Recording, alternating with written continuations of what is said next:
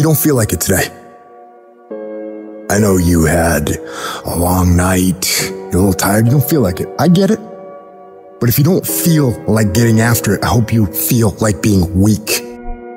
I hope you feel like not accomplishing anything because that's what's gonna happen. If nothing changes, nothing changes. And yet, somehow we expect things to change. You think you're gonna get in better shape. You think you're gonna get more money. You think your relationship is gonna improve.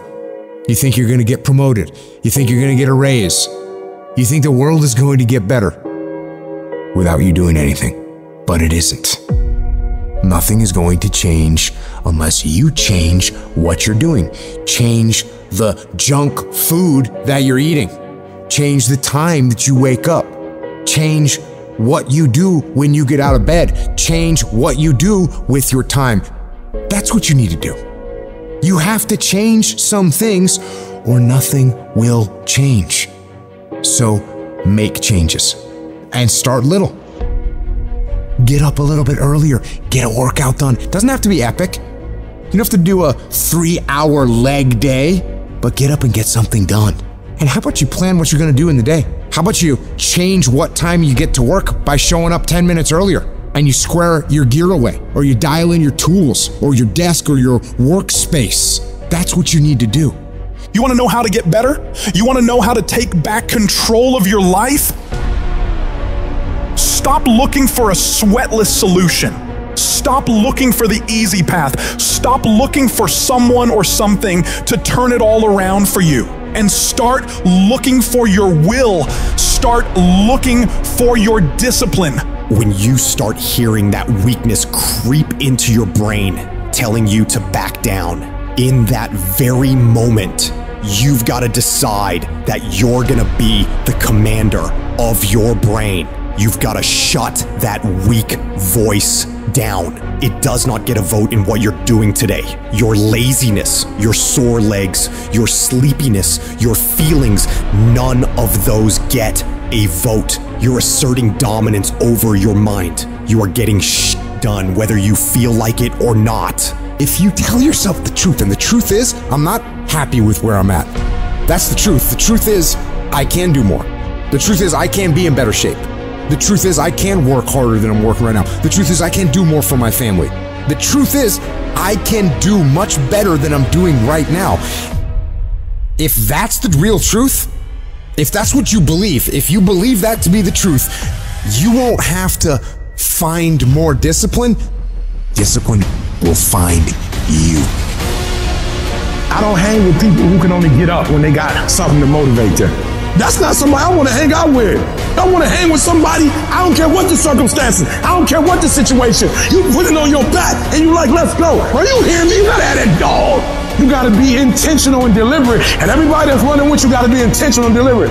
Discipline is doing what you said you were gonna do when you don't feel like doing it when you felt like doing it in the first place. That's all it is.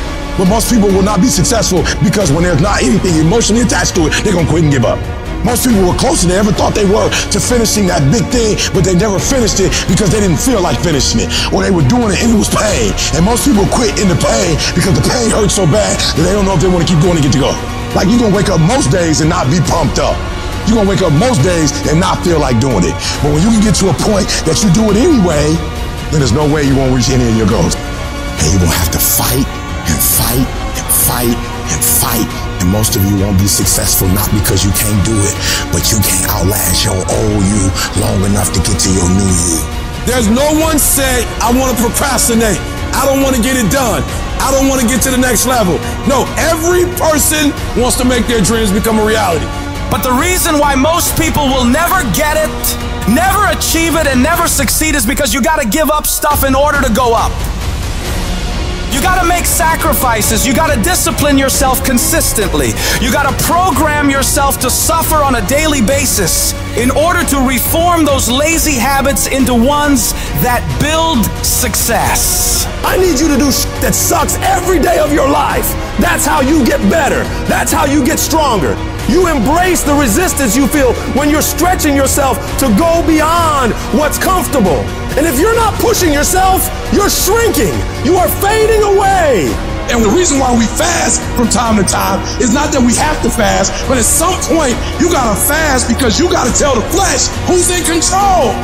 I'm in control. You're not in control. I know you don't want to wake up. You don't have an option. Get up. We trying to eat. There's a certain lifestyle we want. Everybody wants it, everybody dreams of it, but very few are willing to work for it. So you gotta make a declaration that you are gonna be one of those few people who will make it happen. Talk is cheap, so you shut your mouth and grind. Your actions will speak for themselves.